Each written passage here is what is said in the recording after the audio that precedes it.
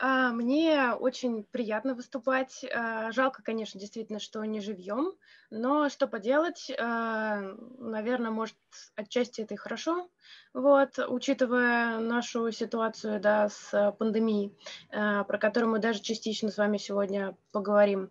Но, тем не менее, как уж есть, а, попробуем с вами сегодня поговорить про прокрастинацию, а, про то, что же нам с ней сделать, э, а может и не надо ничего делать, и вообще, как она влияет на нашу жизнь. Есть у меня некоторая презентация, которую я сейчас включу. Так. Вот. Я надеюсь, что все видно. И, собственно, что же, ну, тут сказано про то, кто я есть, чуть-чуть меньше, чем про меня сказали. Вот, а, пока писали про меня, я уже стала из научного старшим, ну да ладно. А, собственно, что ж такое прокрастинация, да, и вот должна сказать очень забавный момент, я откладывала написание презентации, естественно, до самого последнего момента, как истинный прокрастинатор, а иначе как я могу погрузиться глубоко в тему, не будучи сама прокрастинатором? И вот я должна сказать, что а, данный чудесный мем по поводу прокрастинации, который научила меня делать 30 минут работы за 8 часов, 8 часов работы за 30 минут, я нашла буквально за 20 минут до начала а, нашей чудесной лекции. Мне кажется, что это достойно, что называется, такого ярого прокрастинатора меня, и вообще как иллюстрация прокрастинации это выглядит совершенно замечательно. А, собственно, да, про что же наша с вами лекция? А, про то, что мы так уж случилось, да, отложили а, фактически жизнь а, на целый год. Шутки про то, что 20 год можно вычеркнуть, да, мы видели все, да, про то, что 20 год уходи, наконец-то он ушел, теперь мы начнем жизнь заново, да, что же с нами было? И вообще, как бы, являлся ли э, этот год, 20 который ушел, и наступивший 21 является ли он каким-то прокрастинационным в масштабах планеты, и что делать с вот этой чудесной самоэффективностью и продуктивностью, которая нам везде транслируется. Про это мы с вами чуть-чуть поговорим.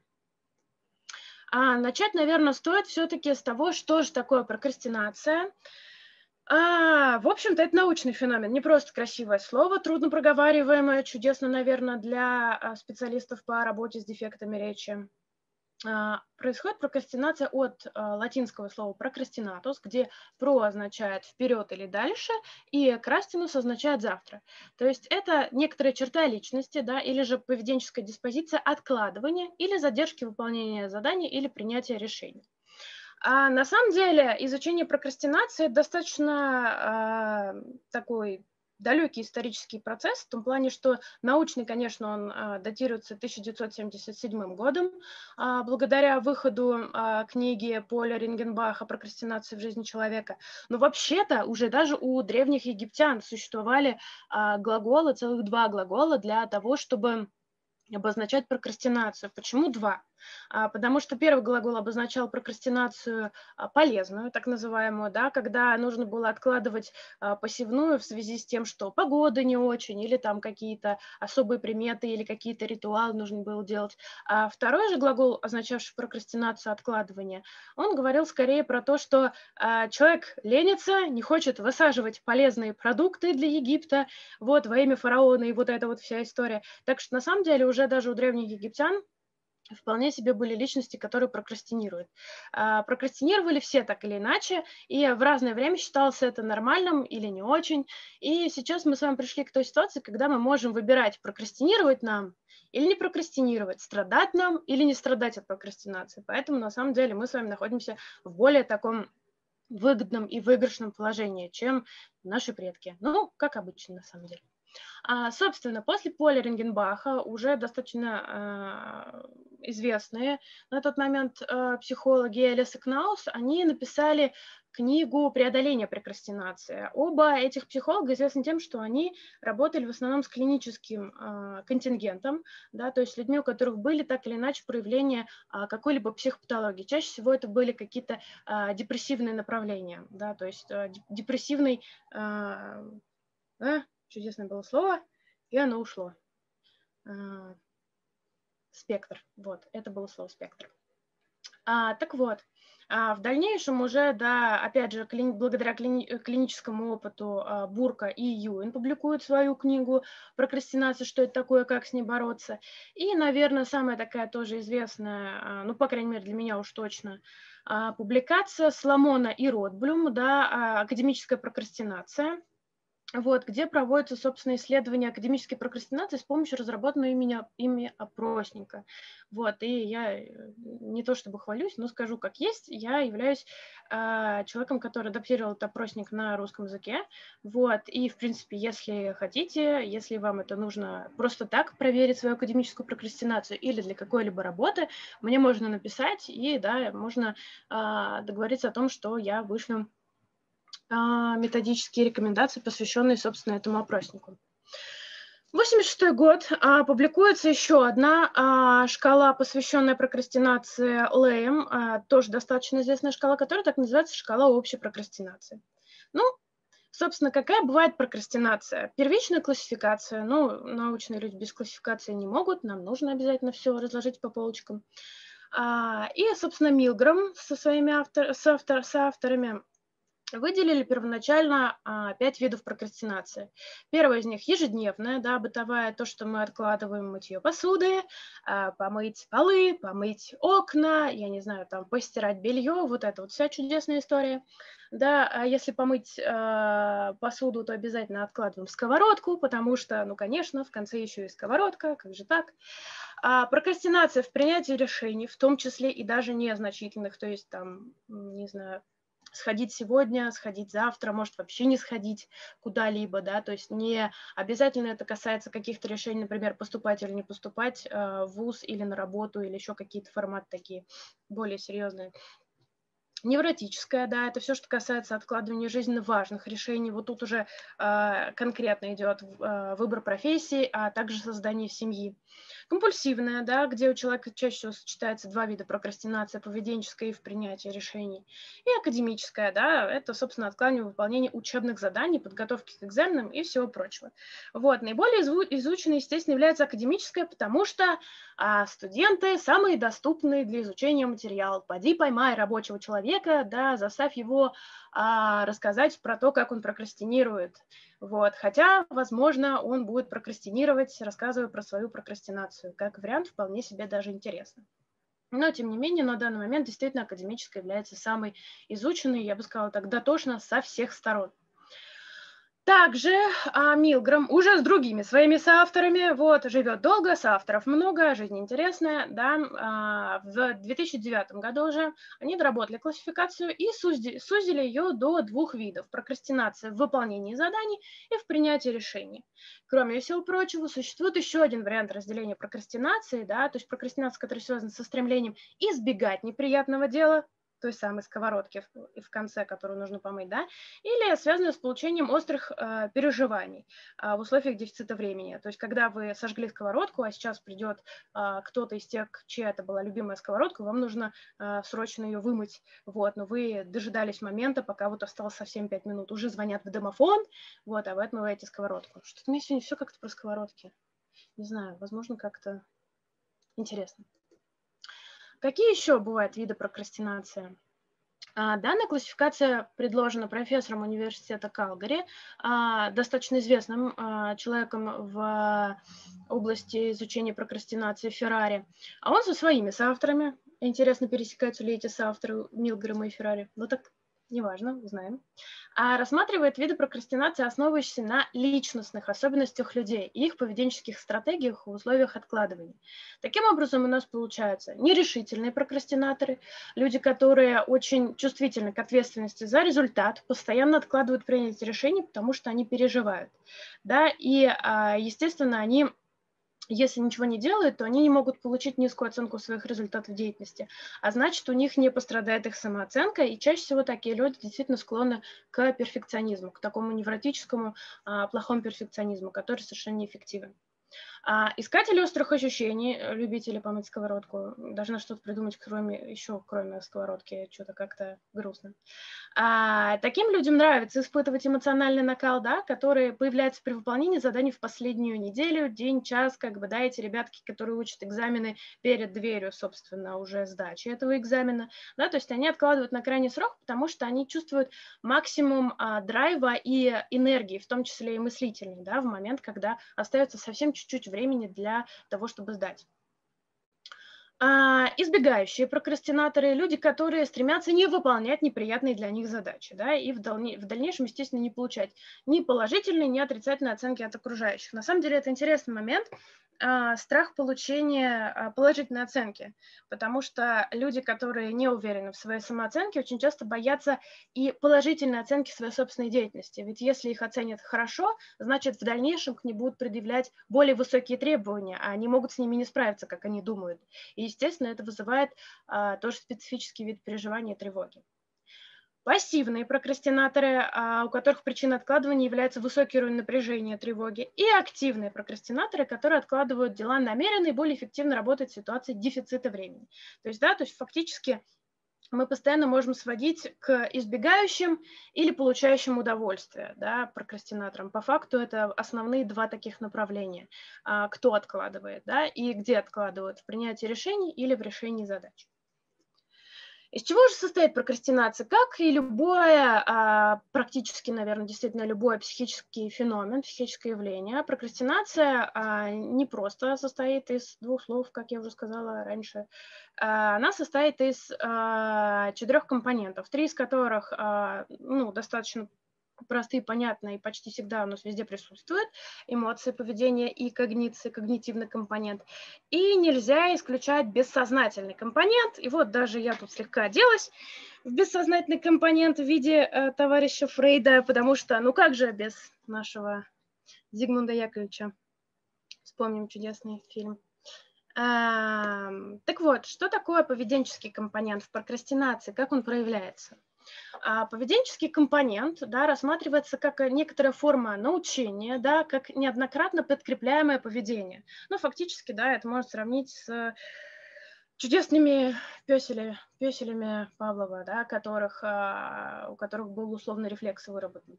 У человека тоже а, гораздо сложнее, чем а, как у собак Павлова, но тем не менее случается вот это подкрепляемое специфическое поведение – да? И, собственно, опять же, студенты, как самый такой частотный материал, они имеют тенденцию избегать задач, которые они считают неприятными и отталкивающими. Ну, понятно, вот, вполне себе, естественно, любой нормальный человек так будет думать, да, и включаются в деятельность, которая им кажется а, более стоящей, особенно если она еще и краткосрочная, то есть, да, естественно, они не будут ничего делать в долгосрочной перспективе, вот, если им кажется это неинтересным, каким-то а, требующим большого времени для выполнения. Собственно, это можно рассматривать и как способ избежать ответственности, да, а также связан, э, связано с тревогой, в общем, присутствующей у студентов при обучении. А когнитивный компонент а, прокрастинации здесь может быть рассмотрен как результат когнитивных нарушений, они же когнитивные искажения. Собственно, а, Элис и и Кнаус а, занимались этим всю жизнь, да, это а, их такая большая тематика а, касаемо когнитивных искажений. И эти проблемы когнитивных нарушений, когнитивных искажений, они никак не связаны со способностями или уровнем интеллекта. То есть на самом деле человек может быть как бесконечно умным, так и бесконечно глупым, а когнитивные искажения у него могут быть. У прокрастинаторов же обнаружены сложности в восприятии и адекватной оценке времени. Да, ну, стоит э, рассказать про то, что наш мозг работает во временных перспективах в виде прошлого, настоящего и будущего, да, и искажение одно из них может приводить к снижению или же полному выключению деятельности прокрастинатора. За эту прекрасную теорию, нужно, теорию временных перспектив, нужно благодарить Филиппа Зимбардо. А, не знаю, наверное, мне кажется, он достаточно известная фигура не только в психологических кругах, да, знаменитый Стэнфордский тюремный эксперимент. Вот. А, после изучения агрессии Зимбардо а, занялся изучением временных перспектив. Ну, на самом деле, очень интересные э, исследования у него, у него стоит почитать, если вам эта тема как-то откликается. А, и эмоциональный компонент, да, а, здесь можно отделить страх неудачи и импульсивность. То есть страх неудачи, здесь у нас а, чаще всего есть перфекционистические установки, которые распространяются на все сферы жизнедеятельности. Да, те самые рациональные убеждения, когнитивные искажения, да, и то, что я уже говорила, что у нас есть страх успеха и страх э, неудачи. На самом деле они оба очень сильно важны для человека. А, кроме того, естественно, эмоциональная перегруженность, да, тревожность, а, физическая, физиологическая астеничность, да, низкая самооценка, застенчивость на публике, да, то есть все, все что касается а, самооценки а, неустойчивой, да, высокого уровня самокритичности, да, и чаще всего люди такие а, склонны считать, что успех принадлежит не им, успех исключительно зависит а, от внешних обстоятельств. А, в психологии есть такое понятие, как внешний локус контроля. Так вот, это на самом деле тот самый внешний локус контроля, когда все успехи приписываются исключительно внешним факторам, там, не знаю, случайность, звезды сошлись, там, я не знаю, а, короче, там, Венера как с кем-нибудь, там, с Марсом и с чем-нибудь еще в какой-нибудь треугольник встала. Вот уже, видите, не сковородка да, и все это способствовало тому, что человек там, не знаю, хорошо выступил, допустим. Но на самом деле это называется внешним локусом контроля. И по-хорошему, конечно, нужно а, чел- с человеком, а, если он хочет, а, работать по поводу этой проблематики, да, чтобы постепенно внешний локус контроля переводить вовнутрь а, и все-таки использовать внутренний локус контроля, который гораздо более эффективен. И все-таки работает гораздо лучше. А, импульсивность. А, импульсивные прокрастинаторы, они а, импульсивны, неожиданно. Значит, они имеют сложности в улавливании оценки сигналов, да, поступающих из окружающей среды. То есть они не просто все улавливают, они могут что-то игнорировать или могут неправильно понимать. Они а, чаще всего не в состоянии откладывать удовлетворение собственных потребностей, да, то есть им вот нужно здесь и сейчас, вынь да положь. А, и, естественно, у них имеются сложности с самоконтролем.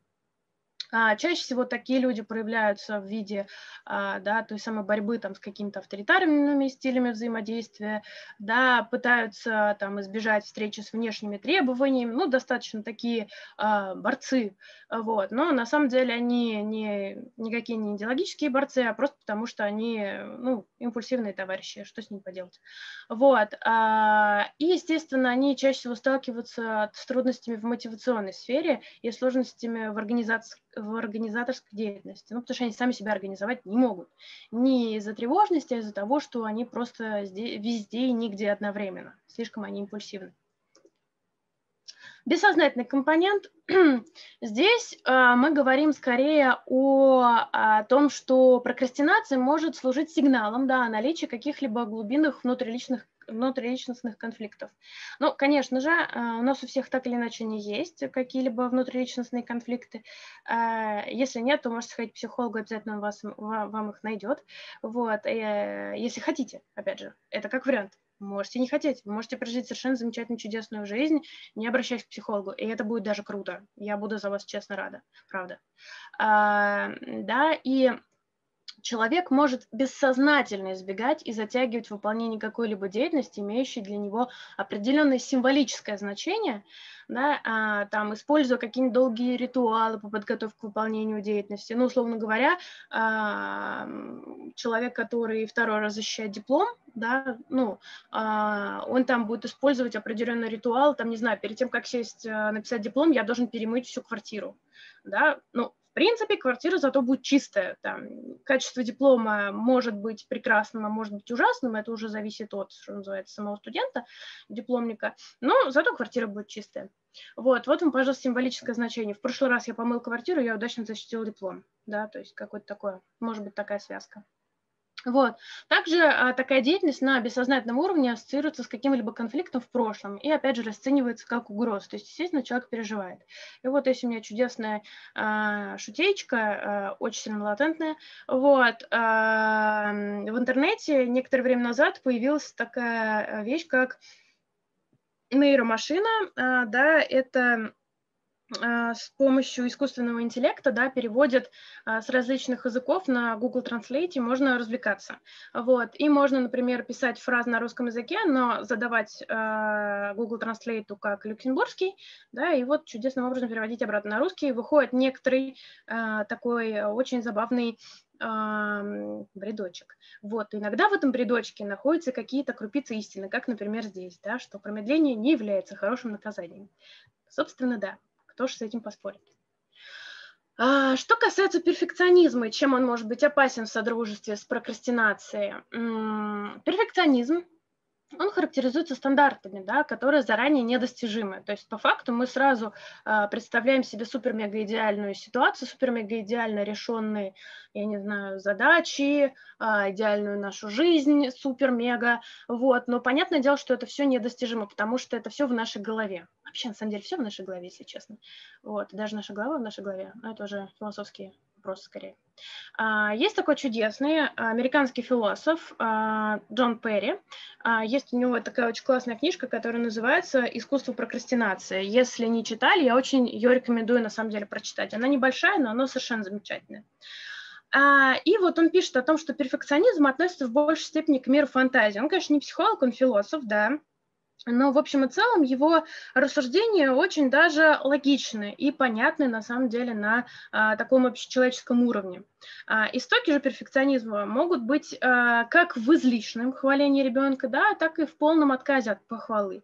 А, конечно, есть определенное генетическое влияние, не такое большое на самом деле, но тем не менее вопрос между тем, как хвалить ребенка, остается очень сильно важным. То есть не, ну, не нужно ребенка перехваливать и не нужно его недохваливать. А, вполне себе буддийский срединный путь во всем на самом деле работает почти всегда.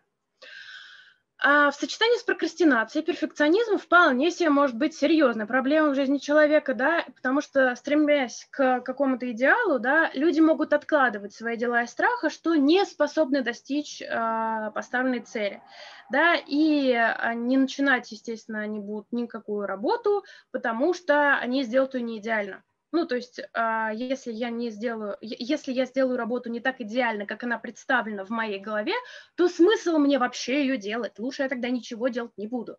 Вот, пожалуйста, вам перфекционист, как размышляет перфекционист-прокрастинатор. А, да, но, конечно же, а, сразу идет провал, как только человек пытается рассуждать, что он может а, не сделать работу, и что случится, если он ее не сделает, да, то есть на самом деле здесь ставится, что хуже, что лучше, сделать не идеальный или вообще не сделать и получить огромный fail на самом деле. И оказывается, что невыполнение еще хуже. На самом деле, поэтому человек все-таки берет и делает.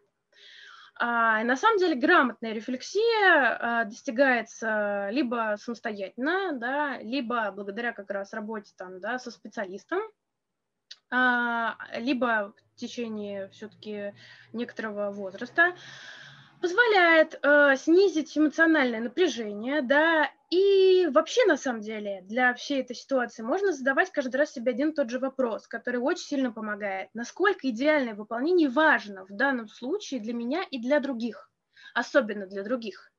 И в подавляющем большинстве случаев оказывается, что неидеально выполненная работа устраивает всех. На самом деле действительно так, потому что то, что в вашей голове идеально, может быть совершенно не так а, в другой голове, в голове другого человека. А, как было сказано в еще одном другом чудесном нашем советском фильме, да, а, голова предмет темный, исследованию не подлежит. В принципе, ничего не поменялось. Мы, конечно, исследуем, но, по крайней мере, вот по-прежнему, ну ладно, не очень темный, ну так, темненький предмет. И вот, пожалуйста, да, первая заповедь, заповедь перфекционист-прокрастинатора лучше сделать хорошо, но никогда, чем кое-как и сегодня. Так что, в общем-то, можете соблюдать ее, если хотите. А можете не соблюдать, можете задать себе вопрос, все ли э, устроит, если вы сделаете не идеально людей вокруг и вас, или нет. А что касается пандемии, да, в период пандемии, который, на самом деле, можно сказать, что длится частично и сейчас, полупандемия, да, мы все оказались в очень необычной ситуации. На самом деле, и кто как э, с этим справлялся, очень интересно. Наверное, все так или иначе слышали про этот чудесный проект «Изоизоляция». Да, вот я частично выбрала картинки, которые мне кажутся достаточно забавными и интересными. А, мне оказалось целых, поход два босха. Ну, Да, любовь к Босху здесь проявляется. А, и как же, а, что же происходило да, с трансформацией, собственно, а, нашего рабочего образовательного процесса? В случае образовательного, да, это было достаточно сложно, потому что многие преподаватели, особенно с более старшего возраста, они э, имели большой недостаток да, навыка использования онлайн-платформ. Не у всех даже, может быть, и компьютеры еще были на самом деле. Да, проблемы с э, техническим обеспечением. А, да, а, все, что касается самих студентов, студентов, которые оказались в этой ситуации, а, то они вынуждены были проводить 24 на 7 время за ноутбуком. До этого они хотя бы хоть как-то друг с другом общались, что было вообще это очень даже позитивно. В принципе, для всех людей положительно общаться э, друг с другом. Вот. На работе за чашкой кофе тоже полезное общение, да, немножко разбавляет ситуацию рабочую, ну, вообще в целом влияет позитивно. Вот. А различные задания и обязанности, да, где везде стоял дедлайн, и везде нужно было только онлайн работать. То есть а, там, где человек, например, более успешен был в ситуации личного взаимодействия, здесь он оказывался, он мог оказаться неуспешен, да, и человек мог а, достаточно активно прибегать к прокрастинации, чтобы не оказываться в ситуации неуспешности. И вот кто как, да, то есть э, кто как мог от, э, занимал свое время, да, вот кто-то там делал всякие различные картины в формате изоизоляции, да, кто-то стал посещать бесконечное количество свободных курсов, смотреть театральные постановки. Я не говорю, что это плохо. Я говорю о том, что это способ справляться, да, в том числе и с напряжением, которое возникло в период э, пандемии, собственно. Ну и частично оно, наверное, продолжается и сейчас, потому что, да, многие все-таки переведены на удаленный формат работы э, снова в связи, да, с возросшими заболеваний, э, количеством заболеваний. А, проблема в том, что нарушение такого привычного ритма да, а, приводит к тому, что сложнее планировать время, потому что ты находишься все время дома. Да, и хорошо, что если ты один или там еще кто-то с тобой, в смысле один человек, максимум два, но если это вся семья, это очень тяжело, причем как для родителей, так и для детей, если есть еще старшее поколение, это дополнительно тяжело, да, то есть на самом деле напряжение возрастает. А, и многие люди, и многие студенты, да, могли отказываться от формата обучения, потому что они уже начинали сомневаться, а нужно им вообще это или нет. Вообще, что нужно а, нам, а, как э, людям, которые, да, вот оказались в такой ситуации. Нужна ли та профессия, которую мы получаем? Вдруг мы все будем теперь всю жизнь так на удаленке, да, и что же тогда делать, если я там какой-нибудь э, специалист, который только живем может работать? Вот. А не все форматы деятельности все-таки можно перевести на удаленку. Наверное, сложно сковать какой-нибудь э, продукт, э, не будучи непосредственно в кузне. Вот. Поэтому действительно проблема такая достаточно э, активно и ярко обсуждаемая. Собственно, я зашла на один из чудесных э, сайтов, да, где можно было посмотреть, какие э, статьи публиковались да, в период пандемии. А, и вот, пожалуйста, да, какие вопросы интересуют. Социальные аспекты дистанционного обучения, да, э, пандемии, уроки, извлеченные в дошкольных учреждениях, да, поддержка сверхнормативной активности молодежи в ситуациях пандемии, да, библиотеки мира в период пандемии. Библиотекам и так, на самом деле, сложно везет вот, если они не какие-нибудь крупные и крутейшие, типа нашей Ленинск, Ленинской библиотеки или там какой-нибудь библиотеки Тринити колледжа в Дублине. А, хотя кто что доходил-то, никто не ходил. Бедные библиотеки, да, и, а, да, там этому невозможно обучить онлайн, прикладные специальности. То есть на самом деле а, публикаций стало очень-очень много, посвященных тому, что же делать с этим онлайн-образованием, и как справлялись, и как справляются, и получается ли справляться с прокрастинацией и онлайн-форматом на данный момент в разных средах, в рабочей среде, в среде обучения, да, а, что же, и в среде касаемой, а, естественно, культуры области, потому что, ну, куда же мы все-таки без культуры? Я, например, честно скажу, очень сильно страдаю без возможности пойти и насладиться картинами. Ну, то есть сейчас была возможность, и там, слава богу, пару выставок удалось посетить, и это было совершенно потрясающе. Но для меня, например, никогда не заменит, да, там, цифровая копия какая бы она крутая ни была, какая бы она высококачественная ни была, живого общения с картиной. Это все-таки определенное все-таки взаимодействие, определенный формат. Да, в том числе и театральные постановки. Да, вы участвуете все-таки в живом общении между зрителем и артистом. Это ну, невероятно здорово. Даже на самом деле зал а, кинотеатра – это тоже определенный формат. Вы все здесь собрались для того, чтобы посмотреть один фильм. Кто вы друг другу, вообще друг друга не знаете, но вы все реагируете. Это тоже определенное как бы, да, взаимодействие которого нам всем не хватало э, в период пандемии, и, наверное, сейчас все-таки немножечко тоже не достает. И вот э, чудесная статья э, Пола Адамса, да, американского тоже профессора, который называется «Рефлексия повседневности в условиях пандемии COVID-19. Естественный эксперимент в образовательной среде». А, очень интересный эксперимент провел а, этот профессор. Он вел дневник свой собственный, да, и, собственно, это уже там выводы из его дневника. Можете найти эту статью, если вам интересно, и почитать ее. Она, она правда интересная, то есть я, я как бы ее оставила для самостоятельного изучения каждому, кому будет и это покажется занятным. А, но вот он вел а, дневник и опубликовал э, статью в виде а, да, того самого естественного эксперимента. Там отдельная история про то, как это сложно зарегистрировать как естественный эксперимент, хотя, на мой взгляд, это самая крутая вещь, которая только может быть естественный эксперимент. Да? То есть никаких условий даже не особенно не ставили, а все как есть в жизни просто было зафиксировано.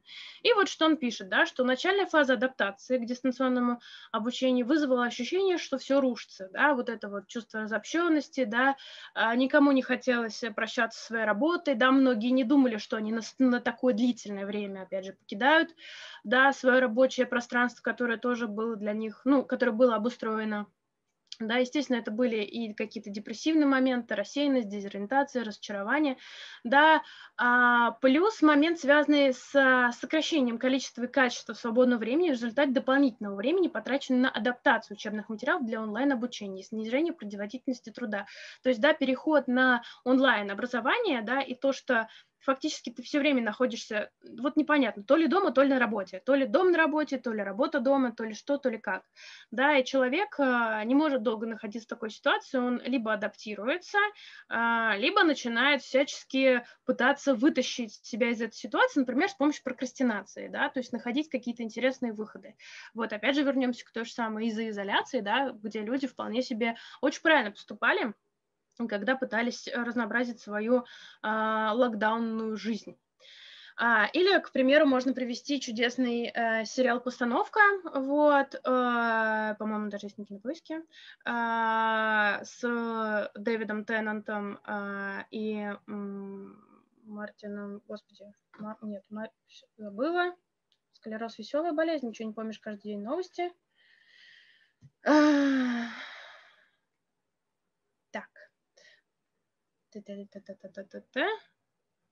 И Майклом Шином. Как я могла забыть про Майкла Шина? Дэвид Теннет, Майкл Шин. Если интересно, тоже можете посмотреть. Сериал э, тоже про трудности самоизоляции в Британии. Вот. Э, наш сериал, я думаю, так или иначе все видели. Вот тут можно даже особо ничего не говорить. А, а тут еще и актеры, как они страдают без, без возможности выйти к зрителю. Дальше, да, что случилось? Через три недели, да, после начала кризиса э, человек почувствовал сдвиг, да, некоторый формат адаптации, приспособления, да, но опять же он э, понимал, что это достаточно хрупкий э, процесс, да, и что чуть, чуть, чуть что произойдет, он может вполне себе разрушиться.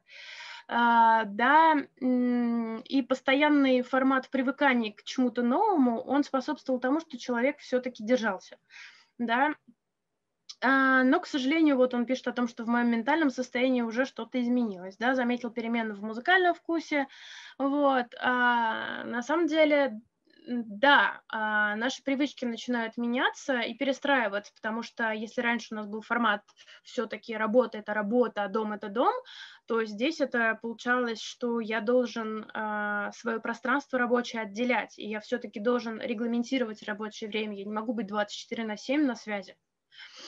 А, и да, пока он приводит там вот а, крайний свой вывод, он не закончил, естественно, этот эксперимент, ну, эксперимент у нас пока еще не закончен, вот, пандемия все еще присутствует в нашей жизни. А, странным и чуждым он описывает этот опыт, да, вот, э, определенное равновесие, да, ну вот он там еще в дневнике своем пишет про чудесный сон, которым приснился, да, с убегающим трактором, которым пытался управлять с помощью длинной палки, вот, то есть на самом деле вот эта вот новая норма, с которой мы все столкнулись, она очень уязвима пока что, да, и мы все, благодаря в том числе и прокрастинации, да, э, можем справляться с чувством вот как раз той самой депрессии, а, да, и тревожности, которая нас всех накрывает. Ну и вот тут э, справа представлена чудесная картиночка э, в виде кружки королевы прокрастинации в самоизоляции, которую я себе заказала в период пандемии. У меня она даже есть, я даже из нее сейчас пью водичку. Кстати, вы надо попить водички. Вот, которая на самом деле меня очень сильно вручала потому что я понимала, что, ну, хоть как-то надо справляться с ситуацией, да, вот вам чувство юмора, вот оно, пожалуйста, здесь проявляется. Вот. А, что касается с вот этой вот открытостью, да, знаний, которые, с которыми мы столкнулись с нами с, в интернете, да, и в период пандемии, что стали доступны библиотеки, стали доступны музеи, да, театры, а, огромное количество знаний, на самом деле, вывалилось на нас, на всех, помимо работы и перехода к этому а, новому формату. И а, есть вот такие массовые открытые онлайн-курсы, да, это достаточно быстро развивающееся явление в цифровую эпоху. И, наверное, многие заметили, что люди в период а, пандемии стали, а, некоторые из людей, да, кто остался на локдауне, а, стали сверхпродуктивны, да, там они записались на большое количество курсов, а, да, стали там, не знаю, кулинарами, там, не знаю, вышивальщиками, а, профессиональными комментаторами прочтенных книг, а, еще кем-нибудь, вот. А, опять же, это неплохо и нехорошо, это способ справляться с ситуацией. А, другое дело, а, как это все-таки работает в долгосрочной перспективе. И вот исследования да, китайских наших коллег, как раз вот этого МОК, а, массовых открытых онлайн-курсов и прокрастинации показывают, а, да, что, естественно, способов откладывать очень много, бесконечное количество. Я вам скажу, даже я откладываю. Я записалась на курсы по обработке фотографий, и я до сих пор не посмотрела оставшуюся часть лекций, потому что я смотрю на это и думаю, ну, потом. Вот завтра-завтра, пока это завтра не сведет его, в общем, да. А, собственно, какие у нас есть, какие были у исследователей из Китая способы стимуляции, да, избегания прокрастинации для студентов выбраны? Значит, просто был призыв к выполнению задания, да, то есть какие-то рассылались сигналы, а, напоминание о крайнем сроке. Было, были описательные нормативные вмешательства, это информирование о степени выполнения заданий сверстниками, то есть как другие справляются, да, сколько человек уже сделало задание. И был также простой призыв к выполнению задания, но в сочетании с финансовым стимулом. И что же обнаружили наши китайские коллеги, да, что вот те самые описательные нормативные вмешательства, когда нам сообщают о том, как другие коллеги э, делают, выполняют задания, да, они достаточно э, эффективно оказываются, да, в долгосрочной перспективе приводит к более высокой вероятности выполнения заданий, более короткому времени до завершения этого задания. А вот напоминание о крайнем сроке, напротив, имеет а, достаточно сильный контрпродуктивный эффект. Собственно, об этом вы можете прочитать в статье, на которую я тоже оставила ссылку. Вот, можно почитать. А, и, в общем и целом, действительно, постоянно напоминать о крайнем сроке, это не очень работает, а, даже с, теми самыми открытыми онлайн-курсами. И тут возникает следующий вопрос. Вот такая вот массовая доступность, а, да, а, призыв, я бы сказала, к тому, чтобы быть а, лучшей версией себя, я бы даже сказала в кавычках лучшей версией себя, да, по факту оказывается не таким уж и полезным, опять же, в долгосрочной перспективе. Да, а, собственно, люди достаточно сильно уже устали быть той, и стремиться, да, быть той самой лучшей версией самого себя, поскольку в погоне за этим недостижимым, мы помним про перфекционизм, да, а это именно перфекционизм, можно превратить свою жизнь, мало того, что сущат, да, так и вовсе пропустить всю свою жизнь мимо. Потому что пока ты наращиваешь э, всякие разные навыки, ты пропускаешь жизнь. Э, не все люди способны, э, и я бы сказала, не, этому даже не очень сильно обучают, изучая что-то новое, да, изучая новые навыки, все-таки находиться в моменте. Вообще, вот тот самый mindfulness, да, и такая осознанность – это про то, как мы можем а, отслеживать себя в моменте. А если у нас нет этого навыка, то сколько бы мы языков не выучили, да, а, это все равно будет нам никак в долгосрочной перспективе. То есть, конечно, вы можете щеголять да, всякими разными чудесными фразами а, типа «пера дастра». Вот. А, в случае медиков, возможно, это будет какой-нибудь «per rectum Я извиняюсь. Вот, кто понял, тот понял. Вот, это можно вырезать, если что. А, но, тем не менее, да, в долгосрочной перспективе знания, которые никак не сопрягаются да, с нашим внутренним содержанием, а вовнутрь мы смотрим не очень часто, потому что немножко страшно смотреть вовнутрь, а, они забываются. Ну, потому что еще даже Шерлок Холмс говорил, да, что нужно тащить свой чердак все-таки знания, которые могут пригодиться. А, это правда если что-то сильно вам противоречит, да, сильно вам не лежит, но вы это делаете, потому что так модно, а, это не знаю, советуют блогеры или там, да, инфлюенсеры, простите, новое слово, да, не блогеры, а инфлюенсеры, а, да, а, но это если вам не близко, то оказывается, что, во-первых, вы долго не можете справиться с тем, чтобы приспособиться к этому, а во-вторых, можете откладывать все это, откладывать свою жизнь, пока не наступит этот навык, а, а он, скорее всего, не наступит, да, и в итоге вы чувствуете беспокойство, тревогу, депрессию, ну и что делаете, и в лучшем случае вы идете все-таки к специалисту, который вам помогает. А, поэтому вот это вот саморазвитие, да, оно все-таки оказывается иногда играет с нами злую шутку. На самом деле, а, еще в середине 20 века а, известный психолог Абрахам Маслоу, да, он говорил о самоактуализации, да, что это желание человека стать тем, кем он может стать. Собственно, да, это тот человек, который достиг того, того уровня развития, да, где он а, полностью использовать свои таланты, способности и потенциал личности. Да? Самоактуализироваться значит стать тем самым человеком, которым мы можем стать, достичь вершины нашего потенциала.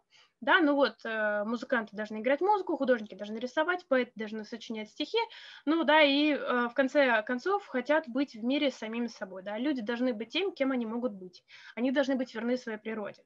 Э, и вот здесь вступает как раз а, та самая модность, которая вокруг есть, что модно быть таким-то, таким-то и таким-то, да, и модность играет с нами злую шутку, да, то есть мы становимся вроде как теми, кем мы а, предполагали стать, но мы чувствуем себя все равно несчастливыми и в погоне за тем, как мы пытались стать, мы в итоге отложили всю свою жизнь. То есть в итоге мы пропустили, да, там, не знаю, какие-то вещи, которые делают нас абсолютно счастливыми. Это может быть любая, казалось бы, даже ерунда. Не знаю, э, встать самому с утра без будильника, это может сделать человека счастливым, да, проснуться тогда, когда тебе хочется проснуться, а не тогда, когда тебе это э, сказал будильник. Работа, э, там, не знаю, э, твой партнер, да, или ребенок пришел и разбудил.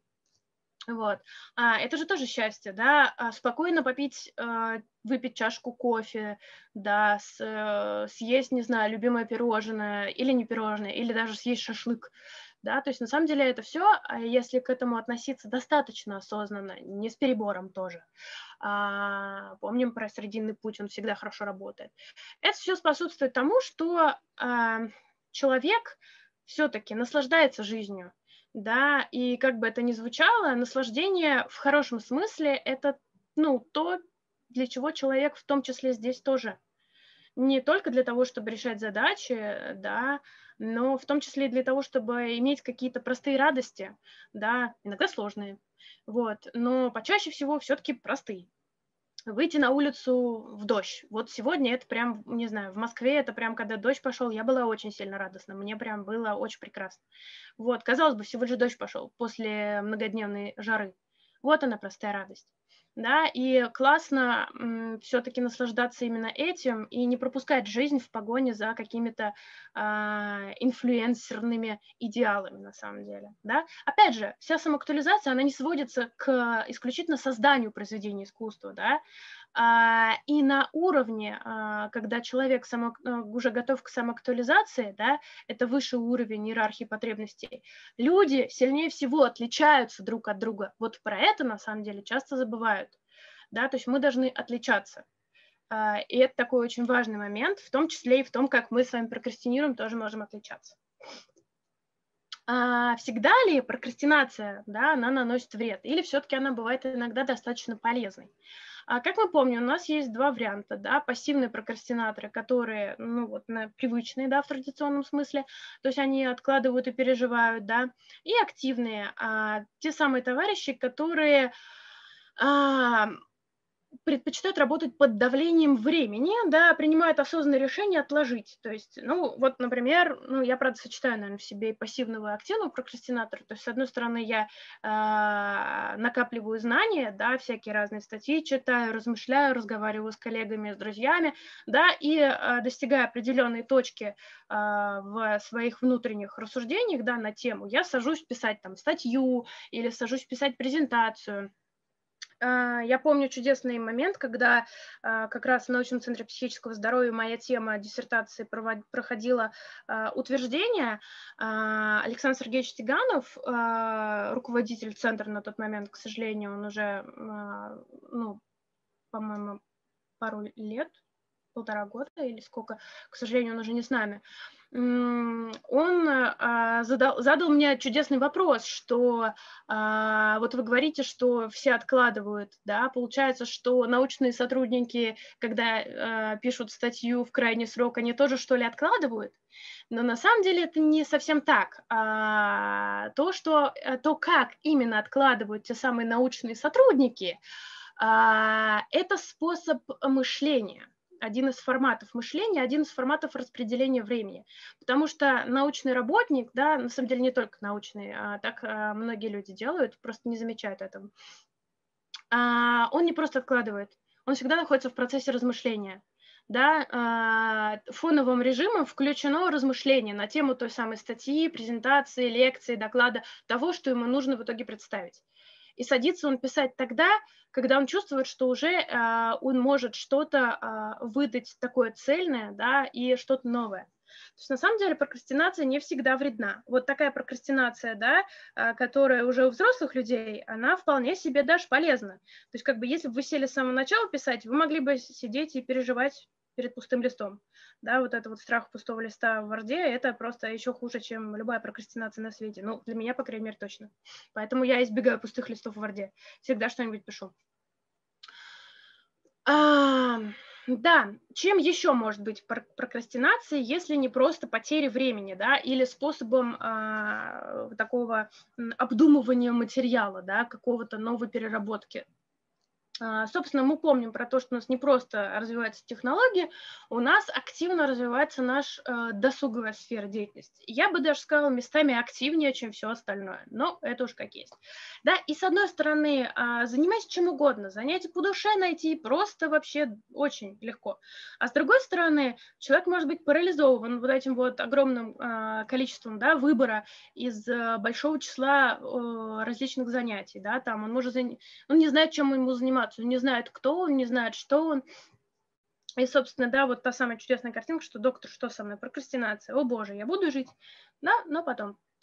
А более того, мы все получаем огромный поток информации, на который мы тратим очень много времени, очень много энергии а, и очень много сил, на самом деле. И это не в пользу нам идет. То есть, да, вот это ежедневное прокручивание соцсетей, которым, а, которому, к сожалению, многие люди пристрастились, в том числе и после пандемии, оно, а, опять же, ну, оказывает негативное скорее воздействие, да, а, плюс появляются, да, различные там форматы тревожности, потому что новости, если просматриваем, да, там вся эта информация по поводу той же самой пандемии, а, да, там, не знаю, фейки появляются, просматриваешь каждый день фейки, здесь можно отослать к чудесному исследователю Александре Архиповой, вот, который этим занимается, собственно, да, человек, испытывая такие трудности, да, он хочет, естественно, а, отвлечься и расслабиться, да, а, но, к сожалению, отвлечься и расслабиться можно надолго, вот, затянуть это настолько сильно, что уже нельзя будет избавиться от этого формата, да,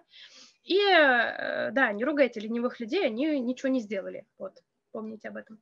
А лень на самом деле не такая уж и плохая. И лень по факту не является э, ни самой прокрастинацией, ни причиной прокрастинации. Да, она может присутствовать, может быть косвенно причиной, э, да, но напрямую она с ней, э, это не синонимы, лень и прокрастинация. При лени человек не страдает от того, что ничего не делает. При прокрастинации он все-таки страдает. А, он испытывает определенный дискомфорт эмоциональный, психоэмоциональный, в отличие от лени. Лень – это вообще прекрасное состояние, лежишь на диване, ленишься, и тебе хорошо. В случае с прокрастинацией лежишь на диване, понимаешь, что тебе нужно сделать очень много всего, и тебе совсем нехорошо, но ты все еще продолжаешь лежать на диване как чудесная шутка про э, каникулы, да, э, наши новогодние, что там первые там три дня там лежишь э, и радуешься тому, что лежишь, да, тому, что не нужно идти на работу, а остальные дни, да, тревожно. Продолжаешь лежать, но уже более тревожно. Вот она прокрастинация, что ты э, не делаешь тех дел, которые хотел сделать за время э, каникул.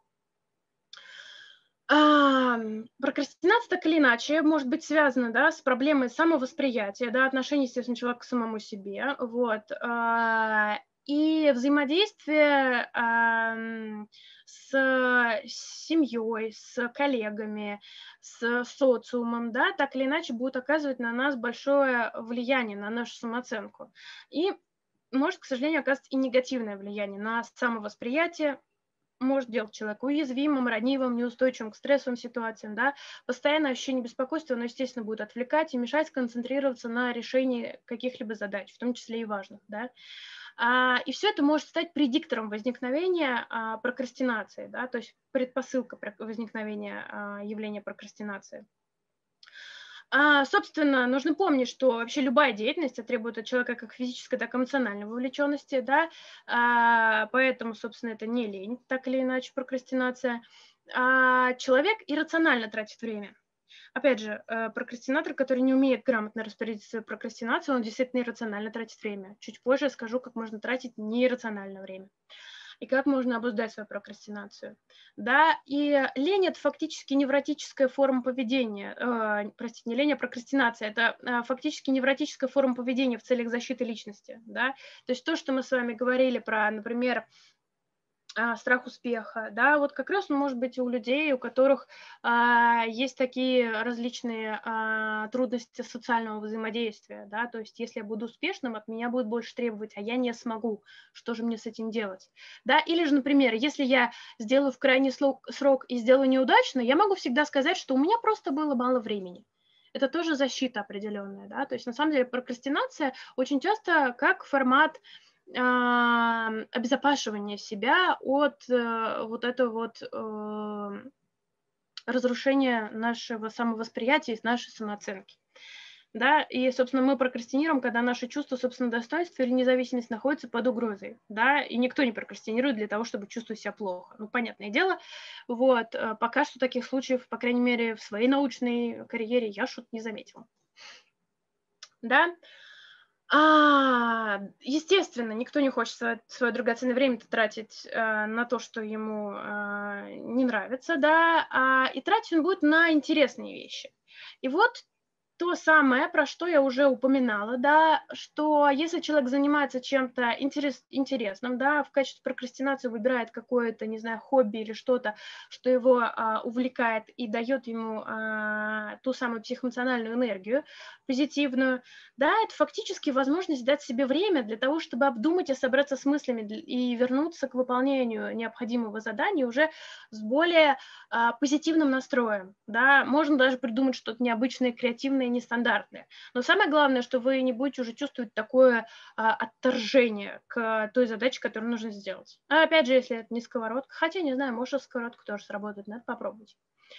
А, да, и в таком случае, на самом деле, когда мы пытаемся перебирать дела, которые будут являться прокрастинацией по отношению к важным делам, это может быть отчасти поиском себя. А сейчас все ищут себя, да, вот, э, можно зайти в торговый центр, найти, короче, э, карту торгового центра и найти там себя. Ну, там всегда написано «Вы здесь». Вот, если вдруг вы потеряли себя, вот вам чудесный лайфхак, как найти себя. Вот, в любом торговом центре вы себя найдете. Вот, А, ну и да, с другой стороны, мы здесь не для того, чтобы всем нравиться, как я лично а, предполагаю. Мы здесь для того, чтобы научиться радоваться жизни и научиться а, совершать ошибки. Это важные вещи. Прокрастинация – это тоже проблема, связанная с тем, что мы боимся совершать ошибки и считаем, что нужно сделать все заранее идеально. И нет, вообще не нужно. Нужно, наоборот, если очень сильно переживаете, можно даже поставить себе задачу специально облажаться лучше всех. Как вариант, вполне себе. А если говорить о психическом здоровье, да, то здесь можно упомянуть, например, такой, формат, э, такой фактор, как психологическое благополучие. Да, и вот э, я нашла чудесную статью прокрастинация в сфере здоровья сбережения психологическое благополучие. Тоже вас отсылаю к ней, можете ее почитать, она есть в свободном доступе. А, где было выяснено, что лица, участвующие в программах, направленных на укрепление здоровья, да, тоже склонны к прокрастинации. И в долгосрочной перспективе, да, это все-таки приводит к сложностям в организации повседневной деятельности, да, тому самому чувству слабого контроля над складывающимися обстоятельствами и безрассудному отношению к представляющимся возможностям, да, то есть на самом деле а, психологическое благополучие будет снижаться, да, если будет возрастать прокрастинация. А, Все это на самом деле чаще всего связано с тем, что а, действительно никто нас особо сильно не учит чудесной, очень дзенской задаче под названием «делать ничего». А, скажу честно, время от времени и студентам в том числе я задаю такую задачку, я говорю, вы попробуйте делать ничего, вот прям поставьте себе такую задачу. И пока что ни я, никто из моих студентов и коллег не смогли справиться полностью. То есть, как бы, да, там минут пять еще можно поделать ничего, но дальше начинается та самая тревога, что как же так я ничего не делаю. Вот, несмотря на то, что даже это определенная задача, делать ничего. И в клинических, э, в моей клинической практике, да, собственно, тоже прокрастинация часто очень приводит к депрессивным расстройствам, аффективным расстройствам, да, то есть человек страдает из-за того, что он э, не может ничего начать делать, вот, а начать делать он ничего не может, потому что у него постоянно а, плохое настроение, постоянно находится в ситуации страданий да, и такой замкнутый круг приводит к ухудшению психического самочувствия, да, и собственной эффективности человека в социуме, да и для самого себя в том числе. Все ли так плохо, если прокрастинация является нашим стилем жизни, да? Ну, вот вам, пожалуйста, врач-прокрастинолог, который приедет вас завтра или послезавтра. Ну и про лень, да, что это психосоматический признак исправности, выработанной за годы эволюции и механизма интуитивного распознавания бессмысленности выполняемой задачи.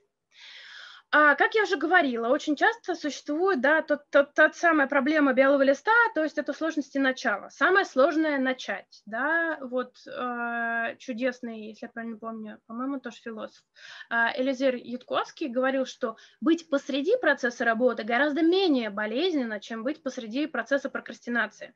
Ну, так и есть. А, да, и вообще нам гораздо проще что-либо уже делать, если мы находимся в середине процесса. Нам сложно всегда начать, да, и первые несколько минут это действительно пытки и страдания. Возможно, в аду именно такие пытки используются.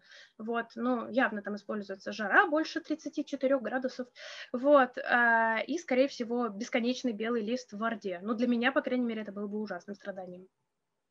Да, а что же можно сделать? Как можно с этим справиться? Можно сказать себе чудесную фразу под названием «Не хочешь или боишься быть первым, так будь вторым».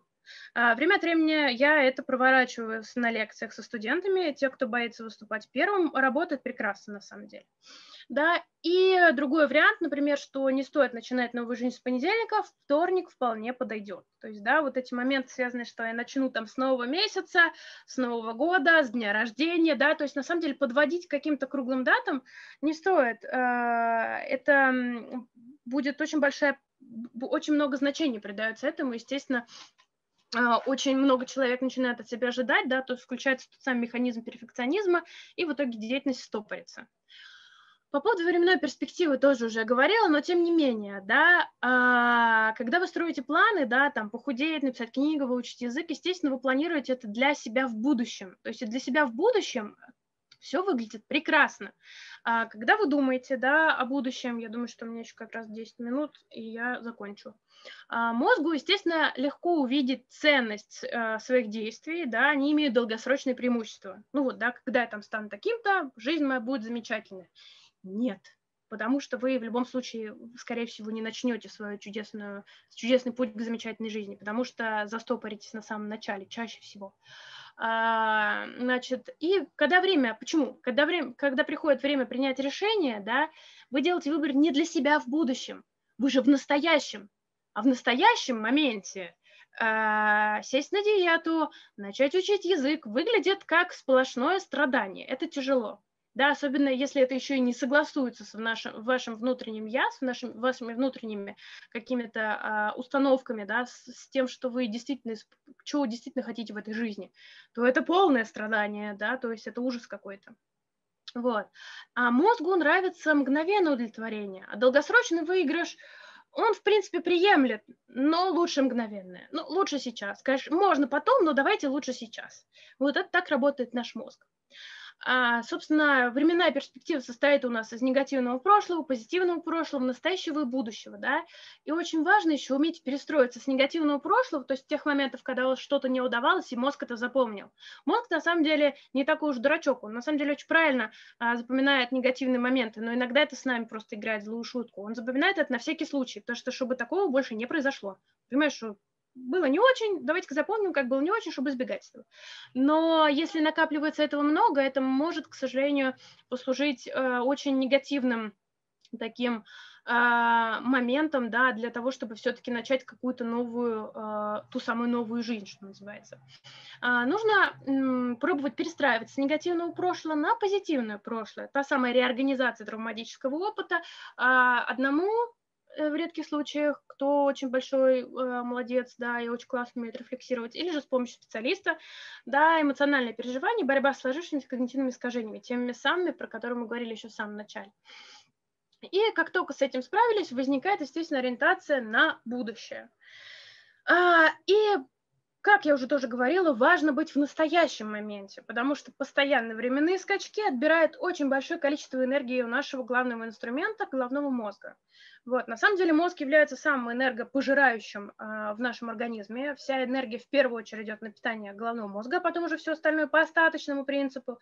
Э, поэтому, э, чтобы избежать различных багов нашей системы, э, нужно все-таки пытаться ее упростить, закрыть количество вкладок, которые открыты одновременно. Потому что обязательно в какую-нибудь еще играет и музыка, и очень сильно раздражают. Ну, есть только нехорошие, конечно же. Какие есть форматы? Да? Вот э, в чудесной книжке э, Петра Людвига да, есть чудесный инструмент под названием «Внутренняя игра». Тоже рекомендую, кстати, эту книжку вам почитать. Э, который заключается в том, чтобы э, быть, научиться быть осознанным и вместо импульсивного реагирования привычного да, на какую-либо ситуацию автоматического попытаться найти другие способы реагирования, да, то есть свободное реагирование на события, уход от ловушки автоматического реагирования. Ну, тут, собственно, я привожу схемы, которые даны в этой книге для того, чтобы попробовать, хотя бы попробовать это сделать. Знаете, на самом деле действительно хороший вариант, если э, не рассуждать в терминах получится, не получится, а я просто попробую.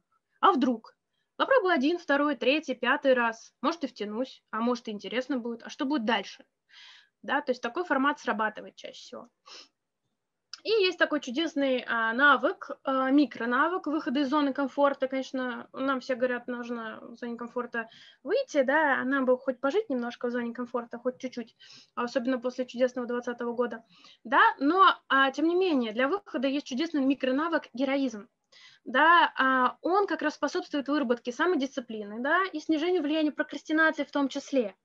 Да, есть самурайское правило трех секунд. Начните действовать до пятого удара сердца. Да, если будете слишком долго размышлять, вас может, вас, ваш, да, речь быстра ваш мозг э, начнет придумывать рациональное оправдание тому, почему бы лучше остаться в этой чудесной зоне комфорта.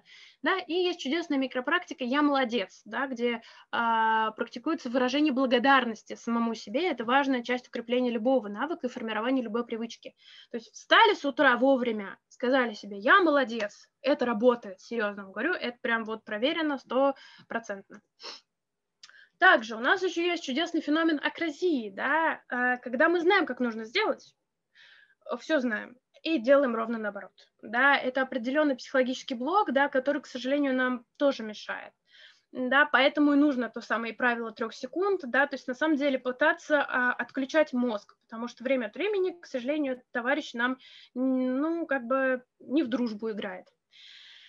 И существует такое понятие, как упорядоченный прокрастинатор. Это человек, который успевает сделать многое, не делая чего-то другого. Тот самый упорядоченный прокрастинатор, а, которому можно и даже нужно мотивировать на выполнение сложных, актуальных и важных задач, что позволит ему а, избежать чего-то более существенного, что ему не хочется делать на самом деле.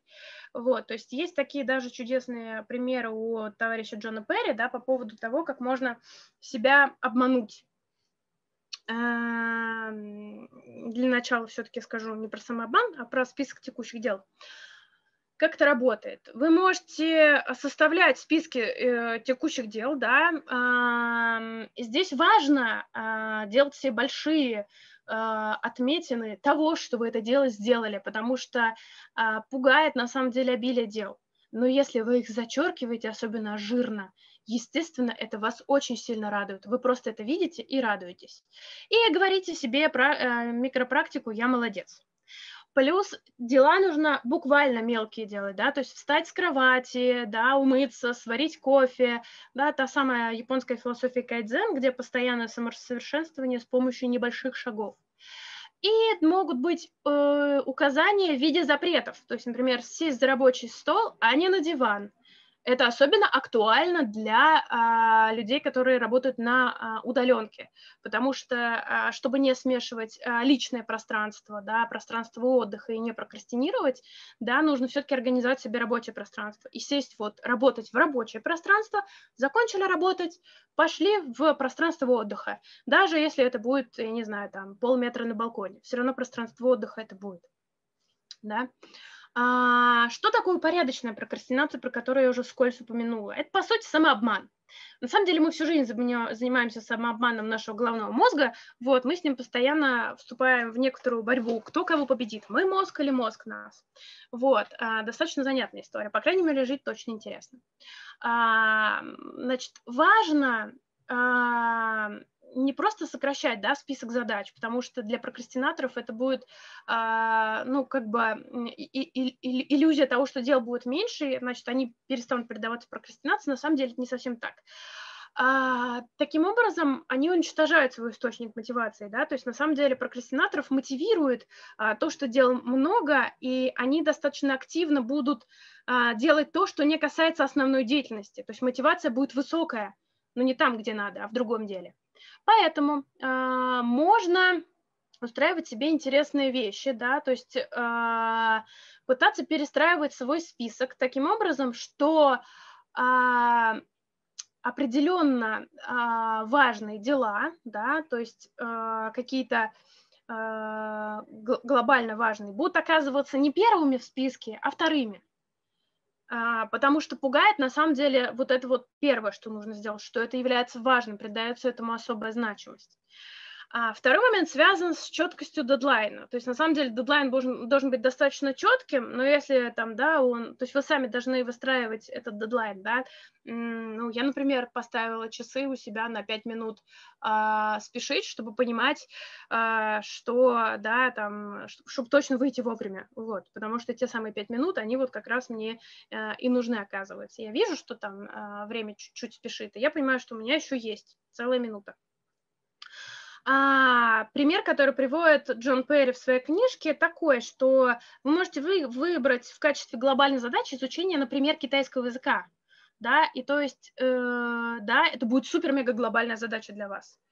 А следующая задача будет, да, написать статью там по чему-нибудь или там оплатить счета, да, и в качестве прокрастинации по отношению к китайскому языку вы напишите статью, и вы э, оплатите счета, то есть вы будете откладывать э, достаточно важную задачу для вас, э, но не такую важную, да, от которой зависит, там, условно говоря, ваша работа, например.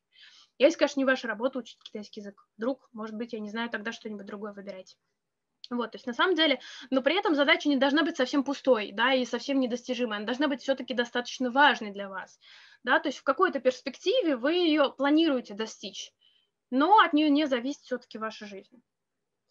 А, и еще один момент тонкий, связанный, например, с организацией пространства. Да, и наш мир достаточно вертикален, да, он устроен по вертикальной организации. Можете посмотреть на высокие шкафы, которые вас окружают. Вот у меня сзади тут тоже есть высокий шкаф.